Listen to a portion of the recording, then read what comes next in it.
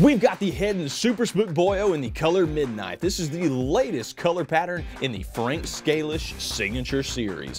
What this color is, it started out as a black body. It has silver paint splatter all over it has a green crackle back that extends down to the sides and is finished off with a smoky gray bone chin.